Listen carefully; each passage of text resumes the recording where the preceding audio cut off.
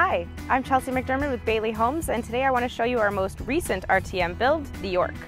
This home is 1,337 square feet and has three bedrooms and one and a half bath. Our designer Sharon says this home has a nice layout and excellent choices to keep this customer within her tight budget.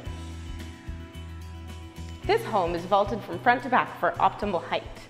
This makes the room look bigger than it is and allows it lots of natural light. When placed on the farm, all of these windows will give a nice view of the country meadow.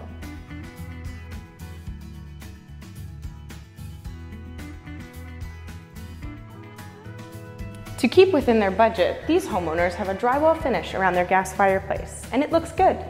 If they decide to add stone later, it can easily be done in the future.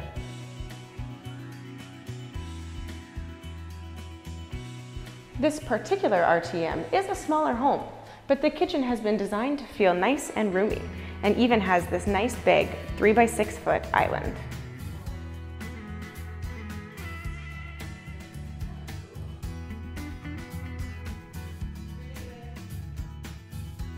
Most items in this RTM are our standard specs.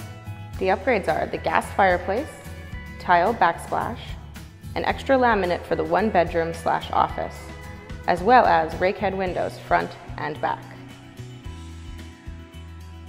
The extra large linen closet allows for lots of storage. This home also has a good sized mudroom and a large pantry. The home has smaller square footage, but the basement allows for extra bedrooms, rec room, and laundry to be in the basement, giving this home lots more usable space. So if you're in the market for an RTM home, contact us today. Welcome home in 100 days.